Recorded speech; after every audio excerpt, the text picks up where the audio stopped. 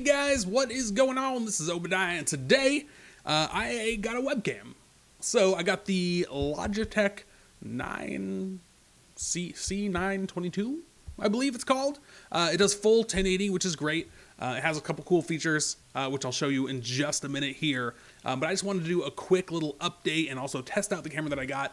I know that a lot of people will do the whole put it uh, in the corner of the video thing, corner of the video thing, um, when they're doing games and stuff. I don't know if I'm to do that or not. Let me know if you would be interested in that or when you'd like to see that in the comments below. Um, I may do it if people want to, or if not, I won't.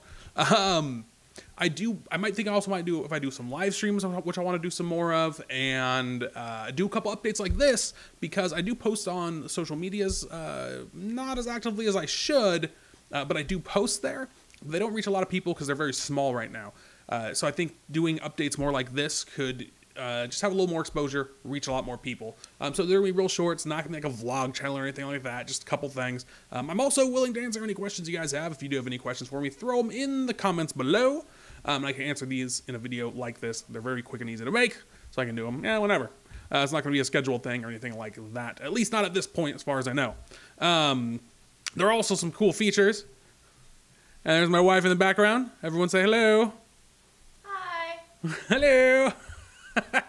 um, you probably won't be seeing more of her, so don't get too excited. What is this? oh, sorry. And uh, anyways, there's also some other features with this camera we might use um, if I do use it in gaming or whatnot. There is an option to hide the background. It's built in, a built-in feature with the camera or whatever, and it looks like this. Oh, it's hidden.